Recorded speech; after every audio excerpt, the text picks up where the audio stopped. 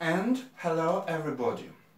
So now I'm going to play one of my first compositions uh, which I have ever written.